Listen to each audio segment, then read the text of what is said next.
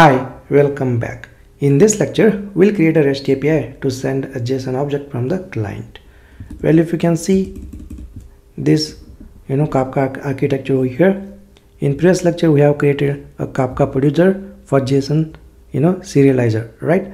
In this lecture, we'll create a simple REST API that will send a JSON object in a request and then Kafka producer will basically send that JSON object to the Kafka topic. Alright, great. Let's head over to the IntelliJ IDEA. Well, head over to the controller package, right click on the controller package, new and then choose Java class.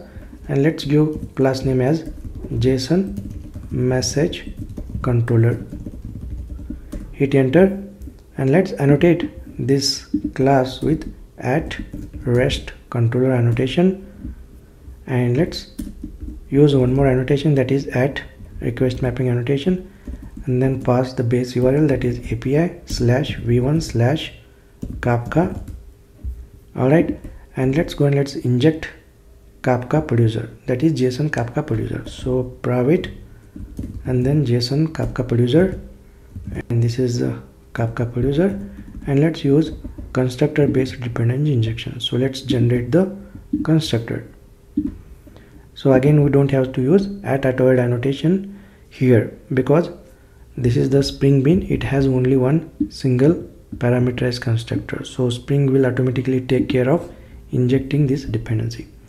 Now next create a method over here public and then provide a return type as a response entity and then pass string as a type. Okay and then let's say the method name is something like publish and then pass user object as a parameter. Okay perfect and let's annotate this method with add post mapping annotation.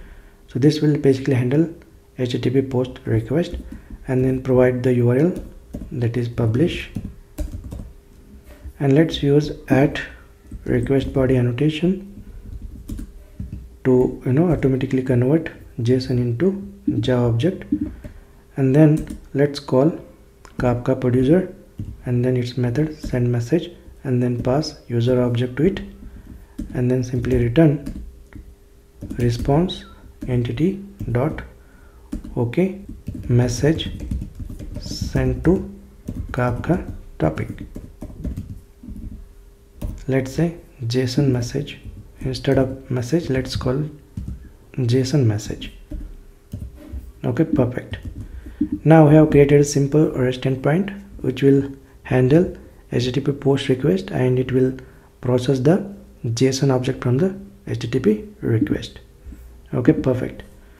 Now what we'll do we'll run the spring boot application and let's see how the kafka producer will send a json message to the kafka topic. So let me stop the existing server and let me restart the spring boot application and here you can see spring boot application is up and running.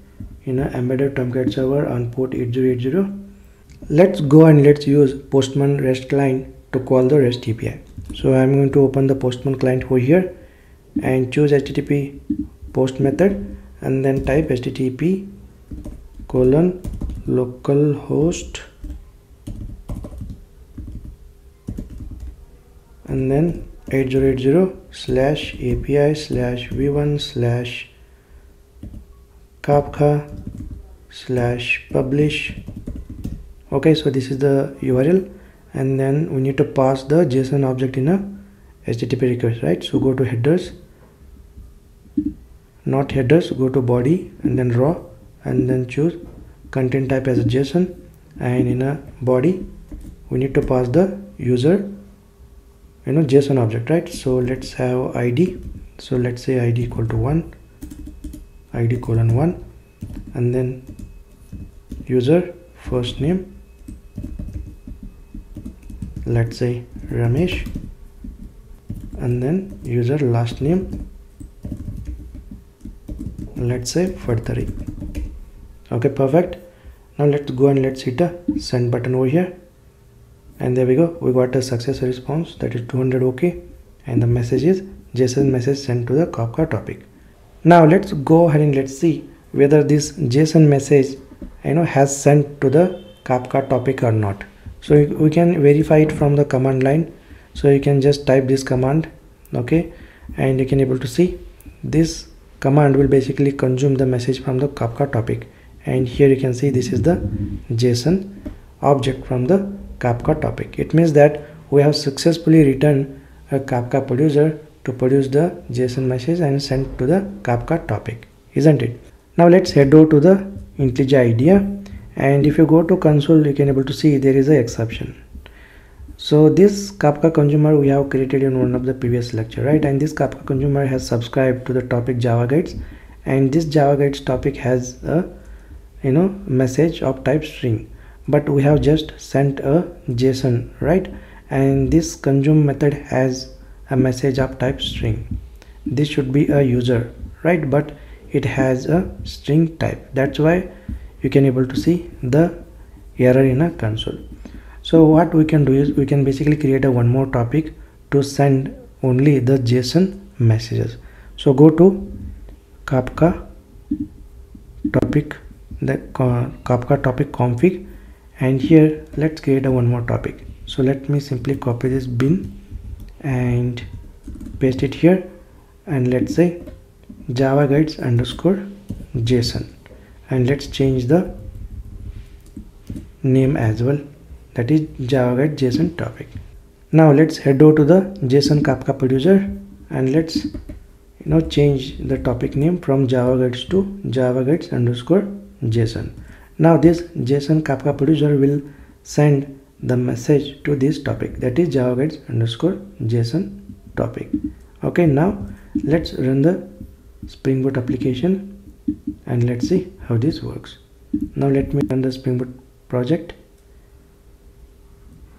And our spring boot application is up and running in an embedded tomcat server on port 8080 now let's send the json i mean let's call this rest api to send a json object in a request.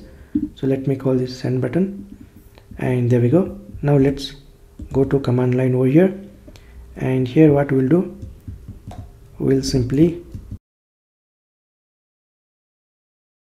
uh, pass the topic name that is java guides underscore json.